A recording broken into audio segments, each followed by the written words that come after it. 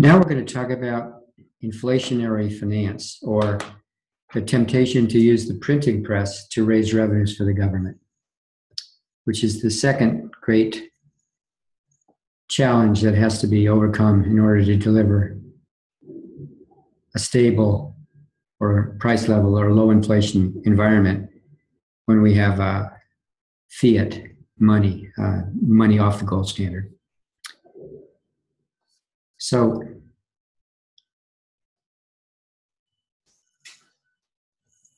what's going to be in play here is basically two key things. There's going to be a model of the money market, and there's going to be a present value or intertemporal version of the government's budget constraint.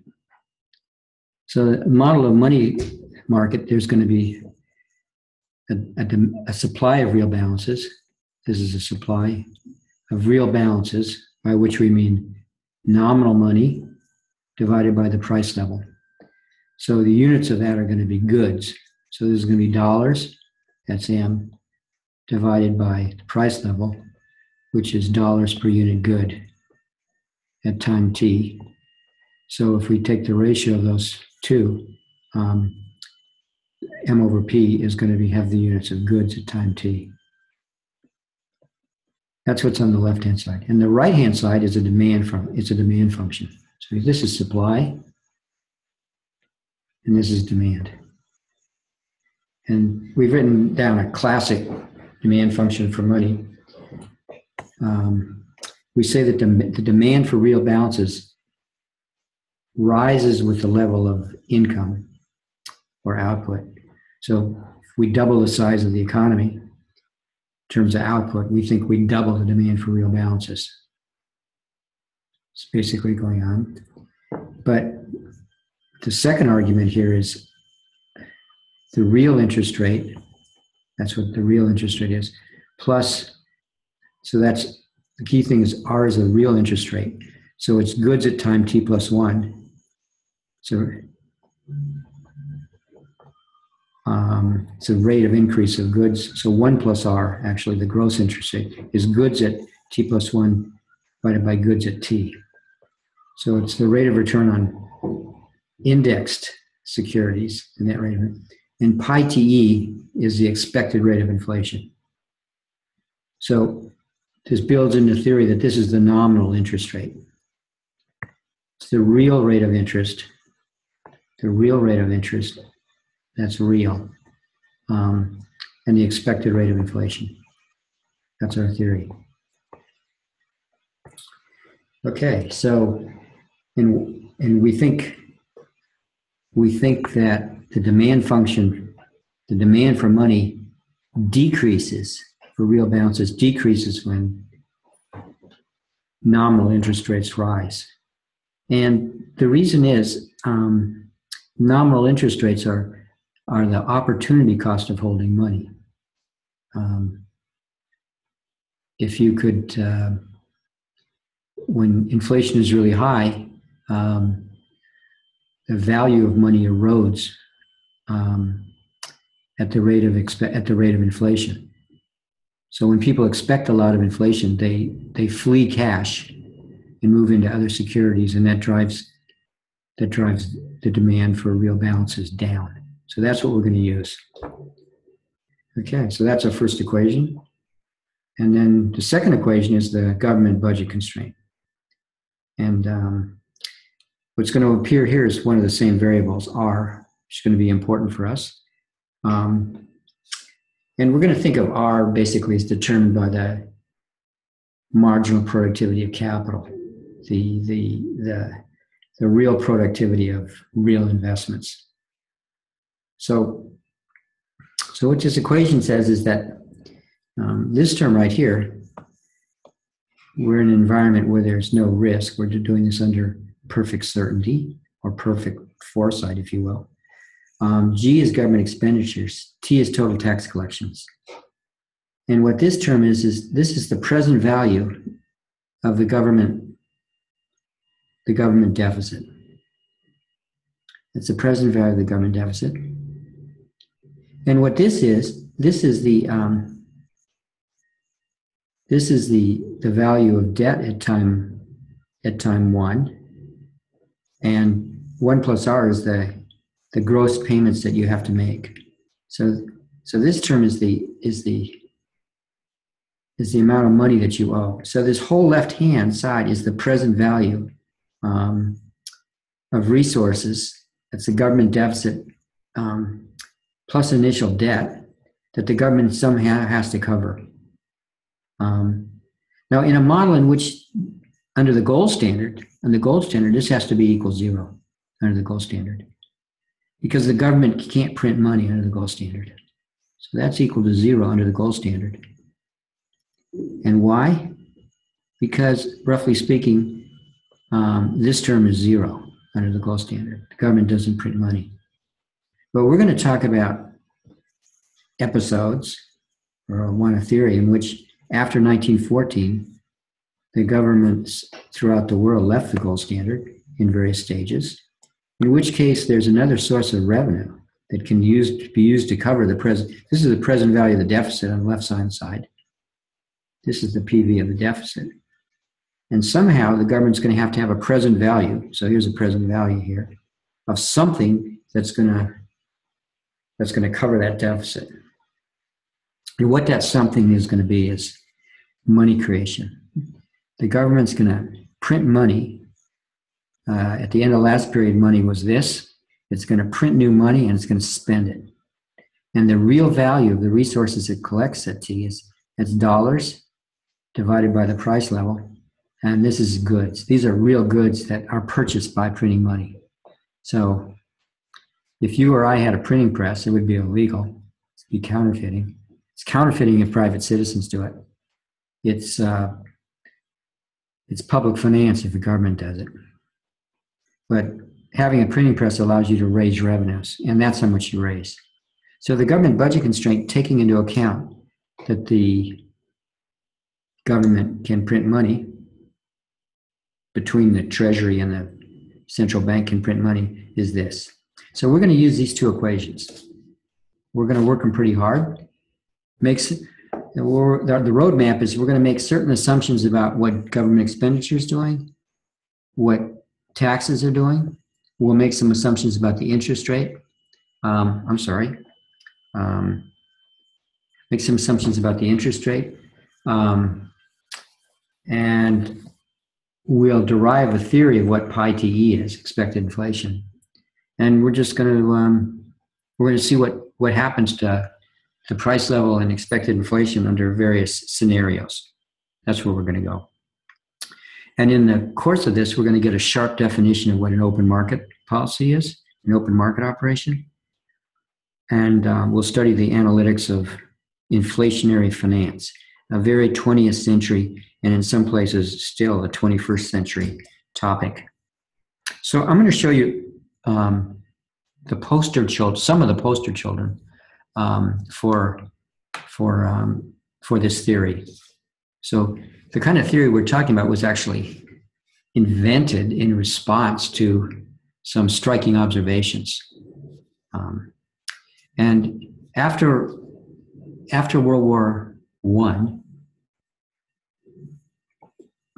a number of countries had hyperinflations. I'll tell you what the numbers were. In, in, in Germany, the prices rose essentially by a factor of 10 to the 12th. That's uh, between, say, 1921 and 19, end of 23. So it's a 12 digit inflation. In Austria, I think it was more like 10 to the 7th. Very, very rapid rates of inflation. Both Austria and Germany lost the war and um, because of their fiscal situation, they they they ended up uh, printing a lot of money, um, currency, uh, after the war to try to cover their expenditures. And um, it's, it's, a very interesting thing to study both of those instances. Um, but um, we're just going to go over this superficially, and I'm going to show you some data. Okay, so um, so, the, so and, and, these data are from a, these data that I'm getting are from a famous study of Phillip Cagan. It's a 1956 study of uh, the monetary dynamics of hyperinflation. Phillip Cagan. And I'm taking these graphs from, from Cagan because some of the most striking graphs in macroeconomics or any of the economics. So on the um, this dotted line here, that's the um, that's the real value. That's m over p. That's m over p, and um, it's on a. It's actually on a. If you'll notice, it's on a. Um, it's on a. It's on a, a log scale over here. It's on a log scale. So what's happening is real balances. Um, the hyperinflation starts in 1921 and ends at the end of 23. Um, and um, and and what you'll notice is um, so this scale is m over p, actually the log of m over p on the scale. And you'll notice what's happening is real balances are declining, and they're declining not quite monotonically. There's some interesting things that happen in the middle. The government's actually doing something here. So there's just drawing, but the broad picture is real balances decline, and they decline dramatically. Um, so, um, despite the fact that M is increasing very fast, P is increasing even faster. That's a telltale sign of hyperinflation. M increases a lot and fuels the hyperinflation, but P rises even faster than M. And that's what that's what this graph shows here. Okay. Now it ended suddenly. The hyperinflation ended in November 1923, and that's an interesting story about why it ended. You can guess. The government stopped increasing the money supply, and for it to be able to do that, it had to make various adjustments um, that our theory is going to be about. Now, what's down here is the rate of change of prices. Now, here's the scale. Again, it's a um, look at this scale. Um, this is the rate of change of prices on a monthly level. It's monthly, um, monthly changes in prices. And, and what you see, it starts around zero. It's actually above zero. But it, in 21, it rises. In 22, it rises. I mean, these are high rates. These are 50% a month, 50% increase a month. And then some dr- drastic events happen in 1923. Uh, the French government invades the Ruhr, takes care of the, takes over the Ruhr Valley. Um, and the German government starts printing money really fast. And then look what happens. Prices rise 200% a month, 300% a month. For, that's not per year, that's per month.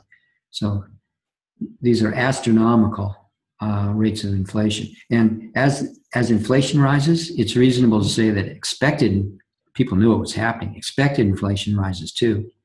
And so this is our poster child um, m over p equals phi. Y is not doing much relative to the other things. And then here's r plus pi te. And remember, this is a negative coefficient.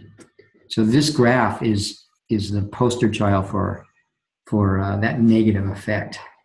Um, that's Phillips Cagan's basic mechanism by which increase in money uh, that leads to expected inflation drives real balances down.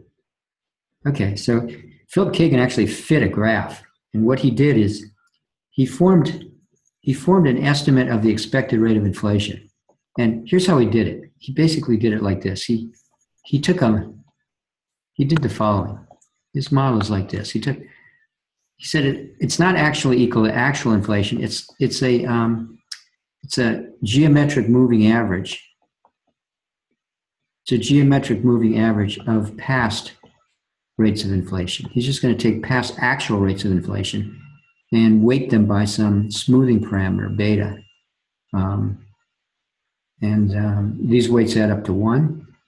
And he formed this number for, for he, had a, he had a clever way of estimating beta. If you're a statistician, he estimated by maximum likelihood. And then he, what he plots here, he plots pi te, his measure of pi te here, against the um, against a measure of m over p, and he uses a log scale there. He takes a log transformation, and what you'll notice is look where the line, look where the points lie relative to this line. Um, until the very end of the hyperinflation, they lie right, on that right in that line. Um, so this period, this is an astounding fit for an economic um, relationship. And it confirms Cagan's basic uh, insight about the inverse relationship between expected inflation, which he's measured like this. And there's subsequent work showing that that's very close to a rational expectation of inflation. So, um, forming expectations like that turned out to be a very wise forecasting rule if you were living in the hyperinflation.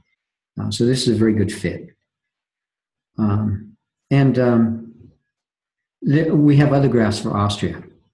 And um, that's the fit, basically the same story. That's the fit that Cagan got for Austria. This is from Cagan's uh, paper. Okay, so I show you these data because those data are the uh, motivator and foundation of the theory of the demand function for money that that we're going to we're going to use throughout our theory, which is m over p equals this phi, this function. Uh, y, we're going to be talking about period where y is basically constant, and then r plus pi te. This is all about pi te.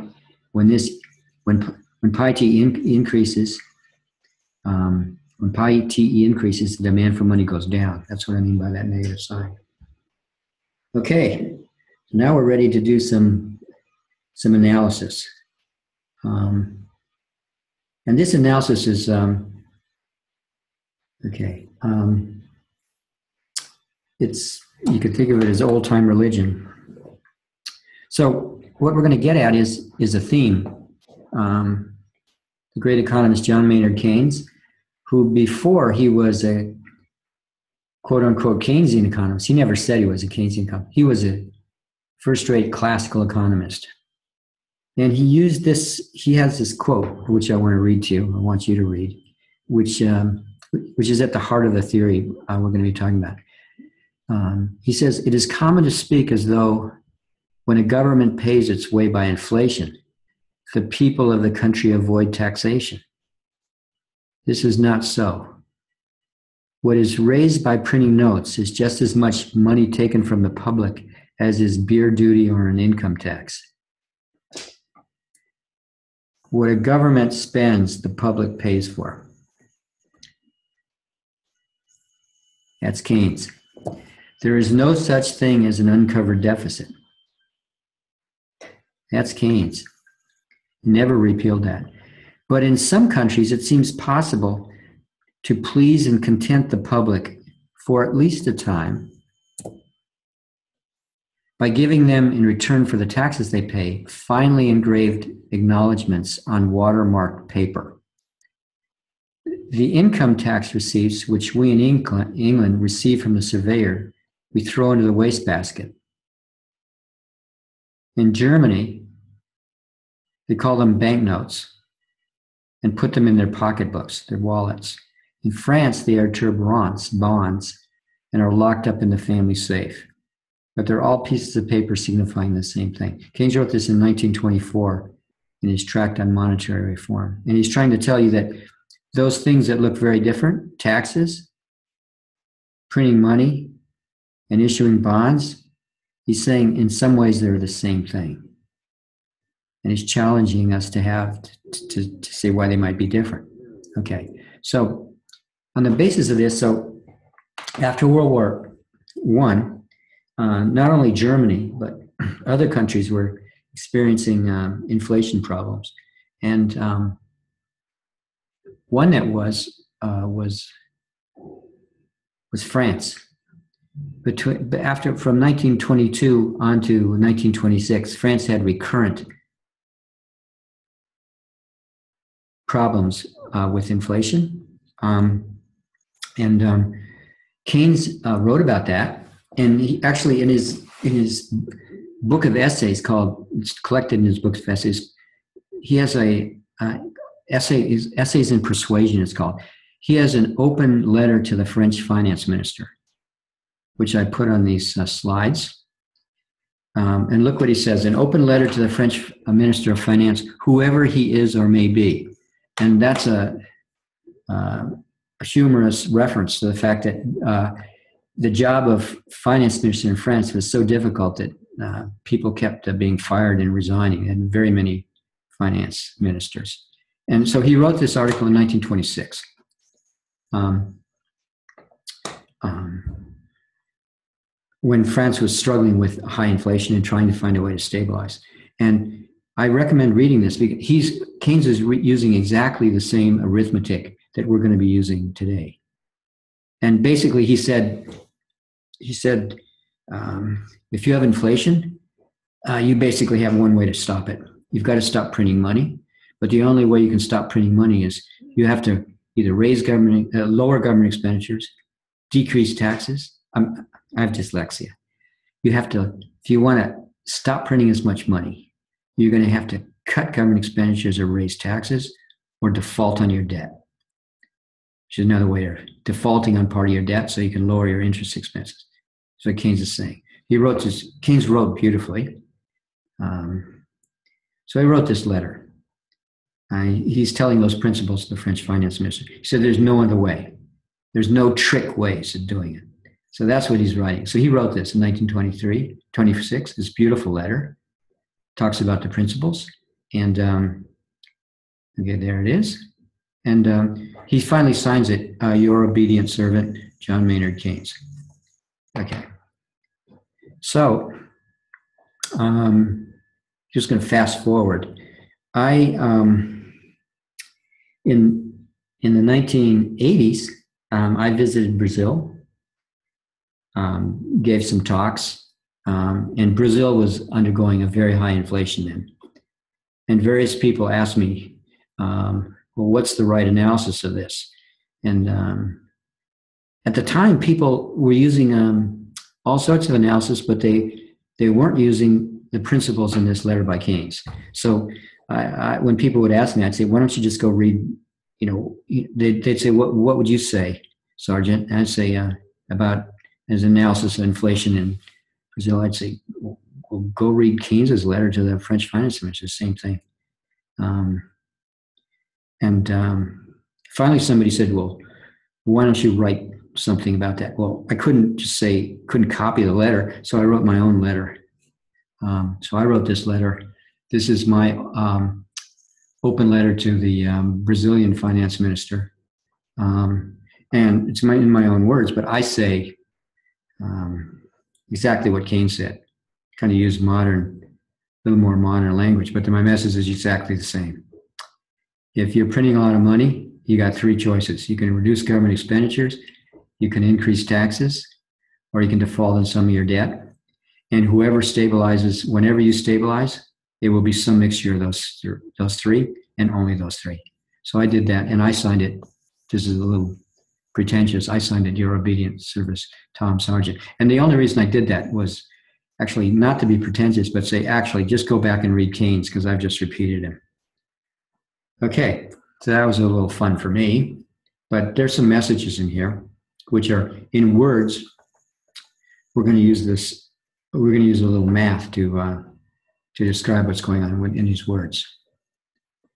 Okay, um, we're going to go back to our two basic equations, and we might uh, we might find some interesting things. So, so here's the government budget constraint um, that we have. Um, so um, and there's the key thing is there's a government budget constraint every period. Um, so what is the government budget constraint? GT, government expenditures, minus tax collections, plus um, the interest payments on your uh, debt, um, minus um, the new debt that you get, uh, is going to be equal to uh, you're going to have to cover it somehow, and you're going to print money to cover the difference. Um, so this is t uh, minus t minus 1 for pt. And we're just going to write that for t equals 0, t equals 1, and you can just keep doing that. There's one of those each period. Um, it's basically flow government budget constraint.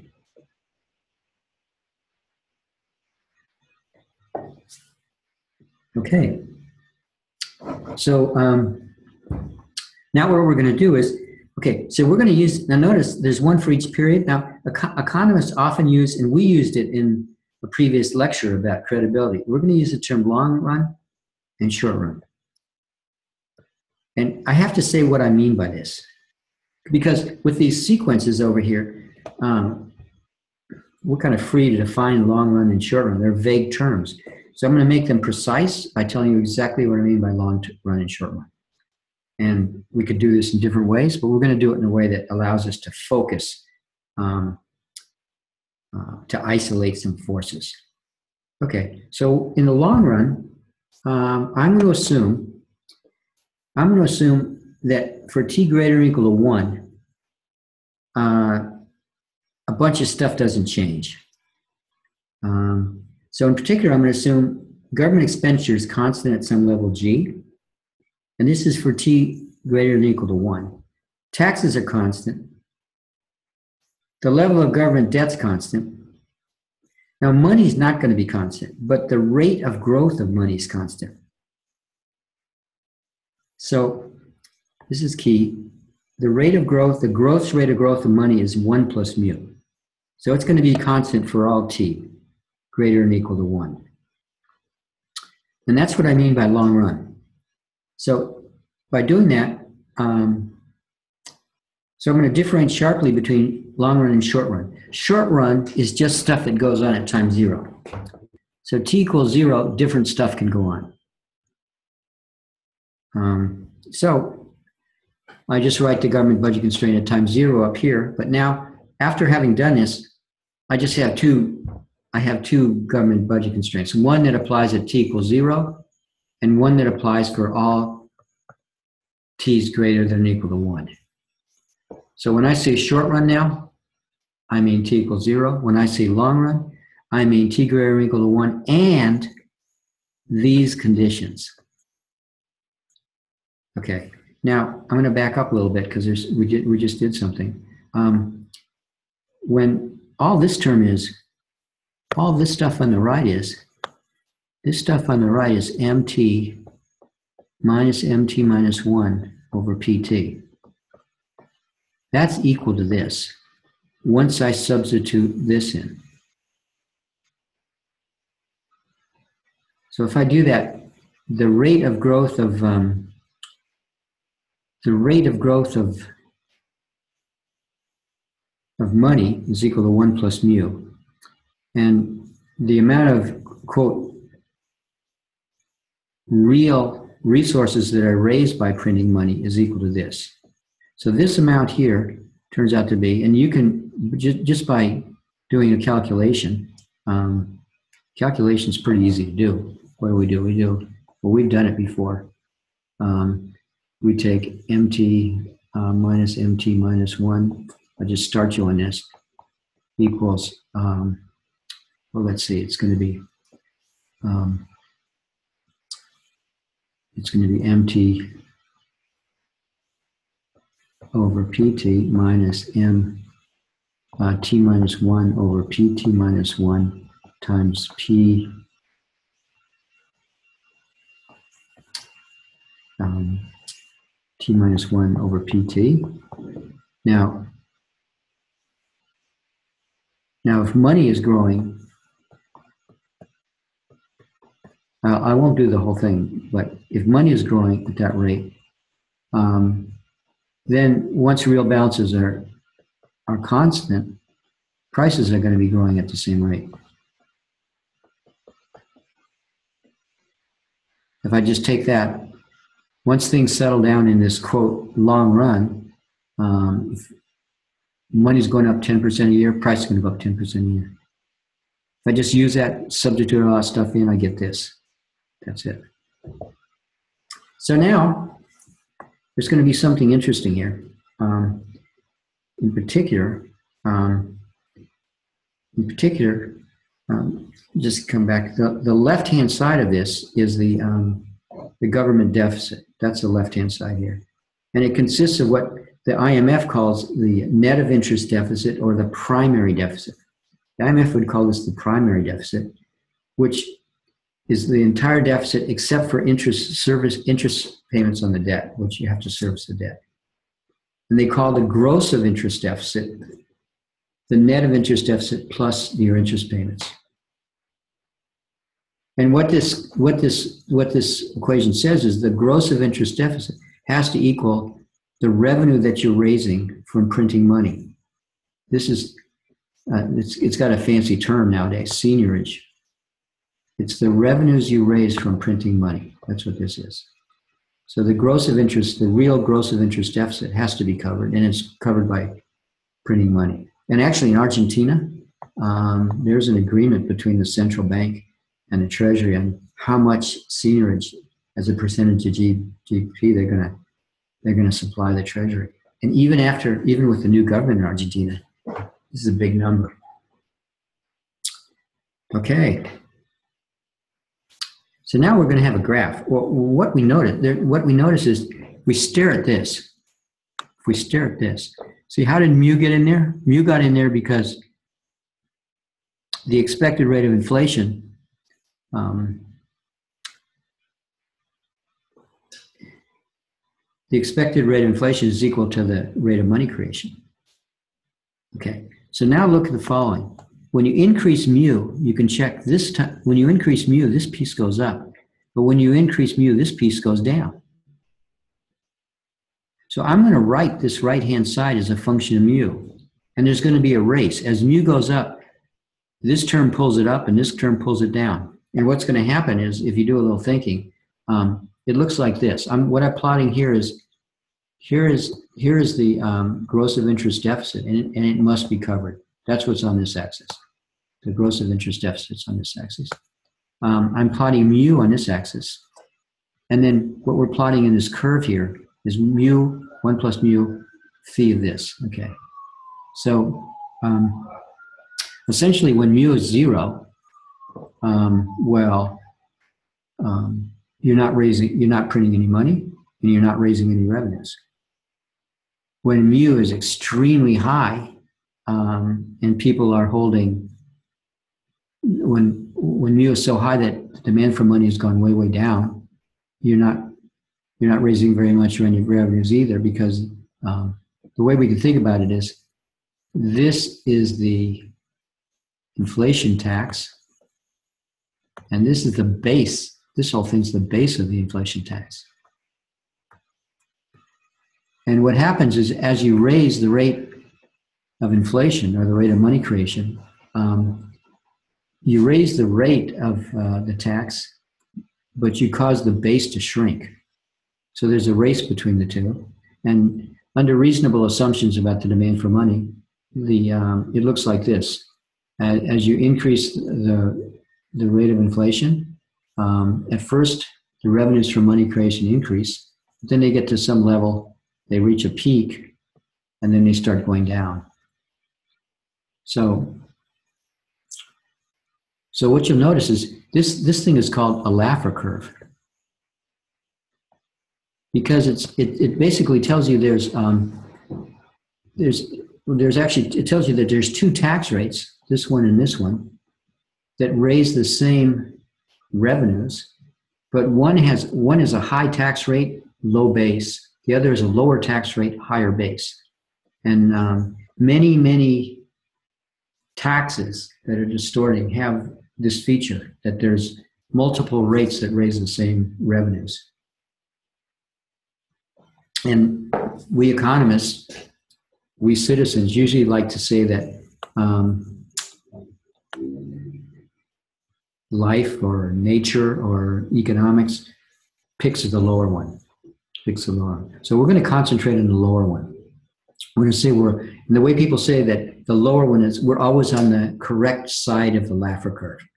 We haven't raised taxes so high that that uh, we could actually raise more revenues with a lower tax rate. We're saying we're on the correct side of the Laffer curve, a widely made assumption. So we're going to make that and then that's our analysis. So, so okay, this is kind of the classic theory of inflation. Um, so let's say that you, and remember, this is our long run. This is t greater than equal to one.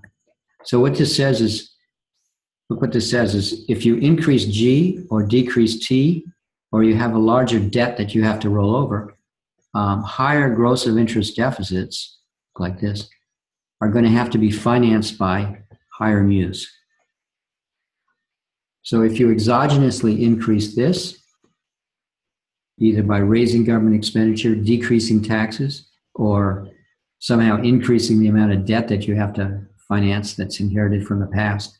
Remember Keynes's letter. We have it's beautiful because we have everything in Keynes's letter. Um, if that is raised, you're going to have to increase mu. Another way to read this graph is if you want to lower mu, you're going to have to lower chi or increase chi or default on your debt. This is Keynes's letter and my copy of Keynes's letter in just one graph. It's all about the long run. Remember, this is all t greater or equal 1. So basically, we've actually gotten a lot from this little analysis. Um, so I urge you to go read that um, letter uh, from Keynes and uh, watch for these things to appear. And you know the logic is ironclad. Um, it's all in this graph. Um, that intersection is what's determining. You see, when you do economic analysis, you're always free to flip what's determining and what's determined. If I take mu as exogenous, then something, if I say it's exogenous and fixed at some number, then the only way this analysis is going to fit together if g minus t plus rb is equal to the amount dictated by that intersection. Or if I say those things are exogenous, g minus t plus rb, if that's exogenous, then inflation's determined, money creation's determined. There's no other choice, no other one thing that can happen. So that's the long run. So from this nice equation. Um, that's the straight line. That's the curve. Okay. So now we're, we're going to um, go a little beyond to uh, what, what Keynes was talking about in the classical doctrine, and we're going to do something that my friend Neil Wallace and I call unpleasant monetarist arithmetic. Um, it's going to emphasize heavily the discrepancy between short run and long run. That's where we're going. Okay, so this is the monetarist arithmetic.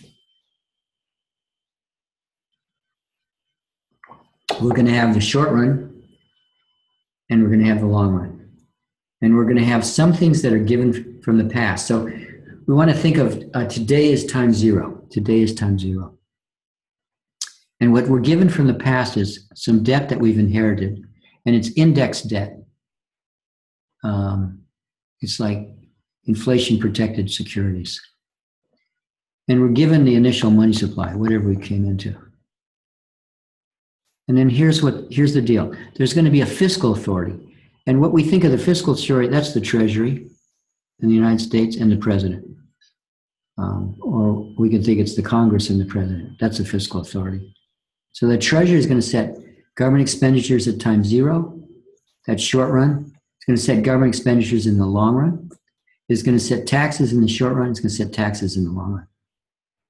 You know, in other words, it's going to set all elements of the sequence of government expenditures and taxes, tax collections, and um, we've trimmed those sequences down just to, to a pair of numbers government expenditures today and tomorrow forever, tax collections today and tomorrow forever. That's what we're going to do. And then the fiscal authority is going to do that, and it's, it's going to issue bonds. Uh, so it, we allow the fiscal authority to run deficits, and how and it runs deficits. It it issues these one period bonds, and they can be held. Now, who's going to own those bonds? I don't know if you watched if you watch the United States today, uh, the Fed and the financial markets, or you watch Europe. They can be held either by the private sector or by the monetary authority. When, we're the, when they end up with the private sector, we're going to call them B. Okay, that's the deal. So what, what's the monetary authority going to do? And this is true of real life monetary authorities. What they do is they do not set G0, G, T0, T. They don't set that. Um, but what they do is they conduct monetary policy. They trade in bond and money markets. They do open market operations. If they increase money in the hands of the public, they do it by decreasing bonds in the hands of the public. They do an open market exchange. They print money. They don't use the money directly to um, buy goods. They they use it to to buy bonds. Okay, that's our division of authority. Um, that's our quote unquote independent central bank convention. So we're being very precise about what the monetary authority does. Now, and we're going to do an exercise about that. So then, uh, the equilibrium of the model is going to determine P0. The equilibrium of the model is going to determine P0 and pi. So the, the inflation rate and the money creation rate are going to be determined by, by the equilibrium. So this order matters. See, I'm not, I'm, and this is respecting the, uh, the budget constraint arithmetic that I gave you and Keynes's letter. You know, uh, Keynes's, Keynes, the spirit of Keynes's letter is that pi, um, or, or mu, I guess we call it, we call it mu, mu, um, which is equal to the expected rate of inflation. Mu is an outcome. It's determined by these factors above. That's what his letter's saying. And that's what we're saying right here. Okay.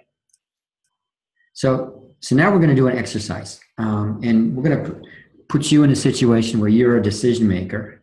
Um, and um, you're the monetary authority at time zero. At time zero. And you can do open market operations, and that's all. And you have to take as given what the fiscal authority sets um, but you can do this. And you also have to take as given is um, you're not a dictator. The equilibrium, the competitive equilibrium, um, demand equals supply, is going to determine P0 and mu.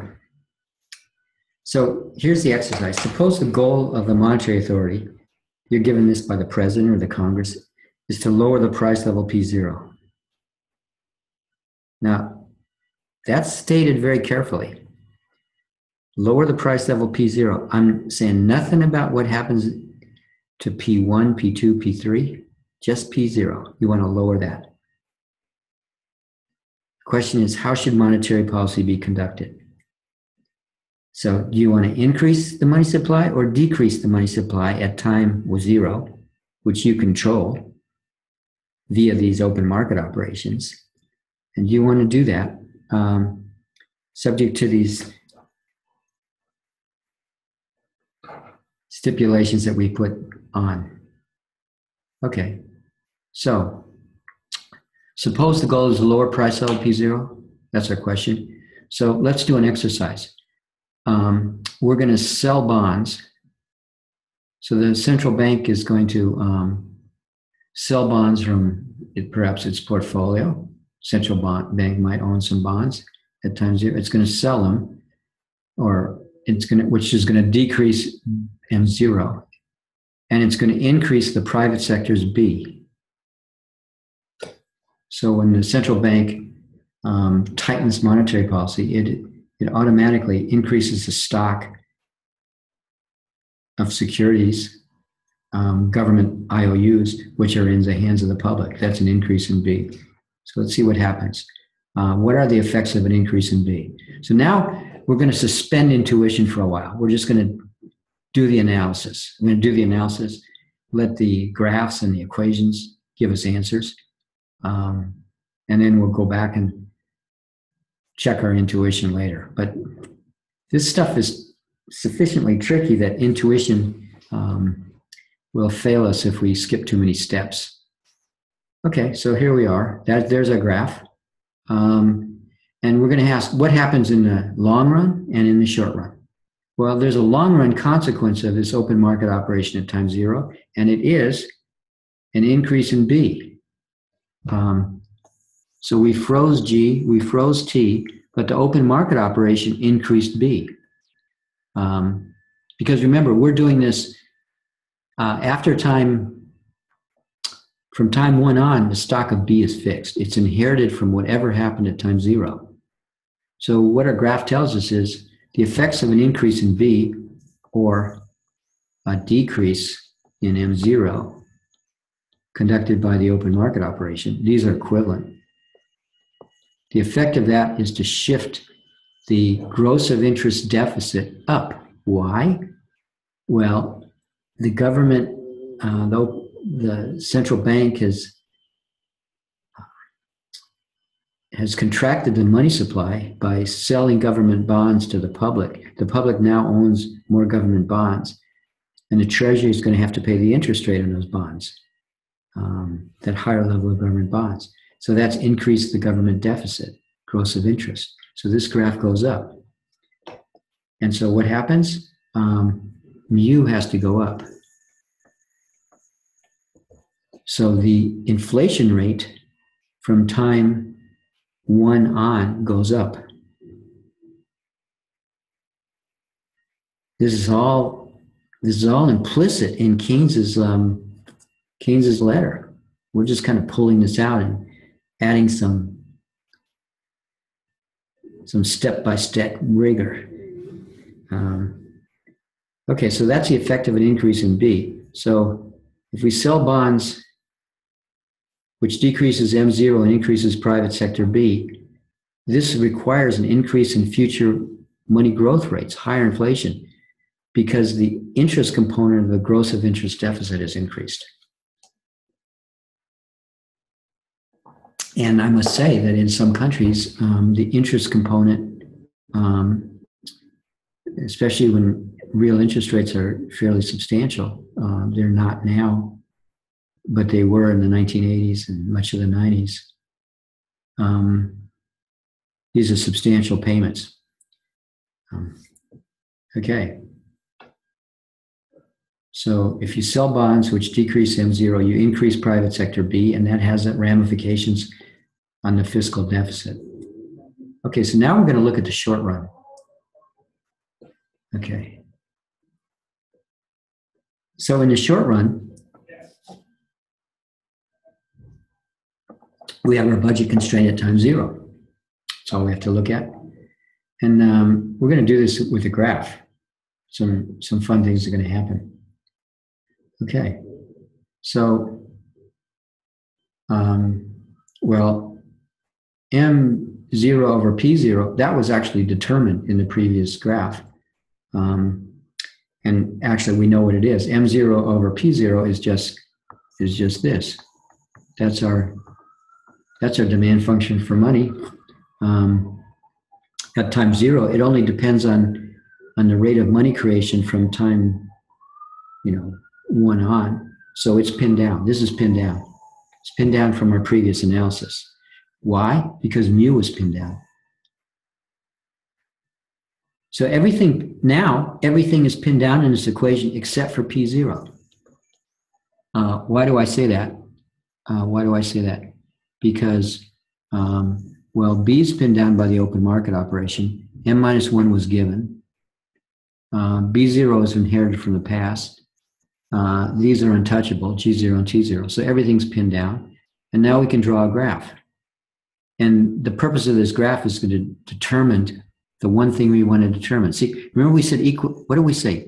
Equilibrium determines mu and P0. Well, we already determined we already determined mu from this analysis. So mu is pinned down. And now we're just working backwards.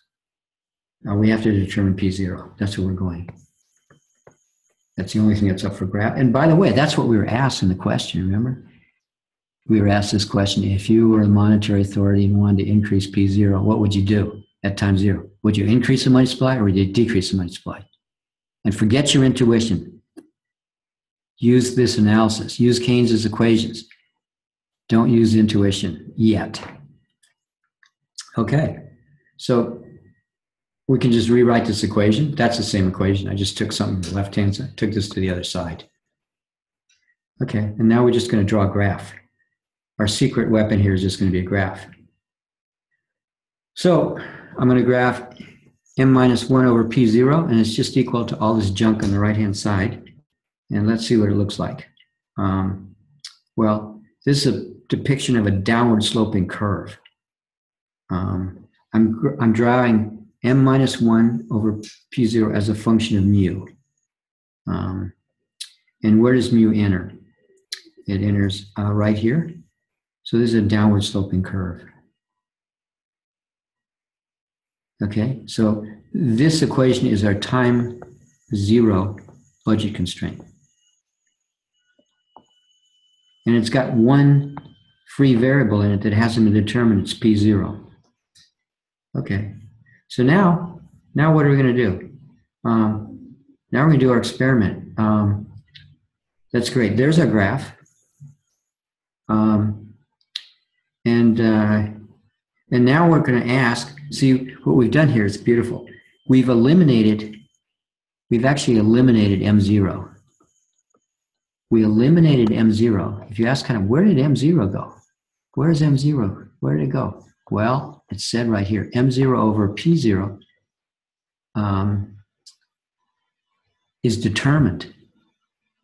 It's determined, and where was it determined? It was determined, um, oops, it was determined in our, I have to go back further. It was determined in this graph. Um, because once we determine mu, um, we determine m0 over p0. That's just equal to phi. I just plug in my y, and I plug in my r plus mu. So once you tell me mu, I know real balances at every date, including time zero, because of the timing. Okay, so now here's what my graph's going to look like. Um, changing M0, decreasing M0 is equivalent with increasing B. So the analysis is this, going to look like this.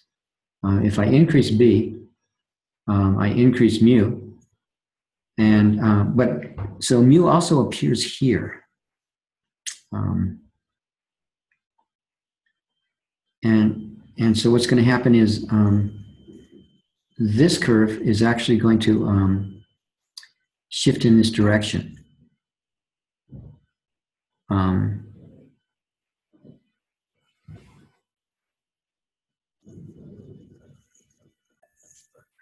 so why does it increase in this direction? Uh, because B is increased. B is shifted out. So if I increase B, it shifts this curve up, shifts this curve up, and drives mu upward. So, so m minus 1 over p0 was initially here. And after, after uh, that, after, after the decrease in m0 and the increase in b, it's here. Uh, now, so now the question we ask is, is m minus 1 over p0, has it risen or has it fallen? And the answer is well, you have to know more than we said. It all depends on the, the slope. Depends on the slope of the demand function for money. Um, if the demand function for money has a has a really big slope, it could actually see if, if I drew this like this, this could be like this. It could like that. If it was if the demand function for money was more sloped like that, it could happen that m, m minus 1 over p0 could actually go down. And if it went down, it would mean that p0 would actually go up. So what's going to happen to p0? Or another way, what's going to happen to m minus 1 over p0 depends entirely now on the slope of the demand for money. And um, something strange can happen. Um, so actually that there we go so an increase in in uh, future money growth causes higher inflation because the interest component of the government debt is increased the policy may or may not reduce p0 depending on how much the demand for money falls if it falls enough because the increased pi the price level can actually go up so what that means is in that weird case if i increase if I actually um, if I actually uh, decrease real balances and increase B, it can actually happen that the price level actually actually goes up. So this is a case. This is the extremely unpleasant monetarist, you could say, or Keynesian, because it is Keynes's arithmetic, that um, that with a fiscal policy that's that's determined, namely government expenditures and taxes locked down, and a a government debt be zero that you can't adjust, um, you have to honor, then um, an open market operation that decreases the money supply, well, the first thing is you know automatically it's going to increase the inflation in the long run, meaning next period, and it may actually increase the price level today. So, to many people, that was counterintuitive because you you think um, you just you just think you might just think uh, well the reason it's counterintuitive is that logic was mt over pt equals phi y, if that's fixed, if yt is fixed, um, and then I take r as fixed and pi te, um, the logic would be if pi te was fixed, it was fixed, then if I increase m or decrease m, it's going to increase p. But this whole thing is the stuff on the right hand side is not fixed. This may be fixed, this may be fixed, but pi te is changing. Um, and so that's that's logic. So that's the unpleasant um, monetarist arithmetic. Um, and um, and it may seem if it seems counterintuitive, um, oops, it's um,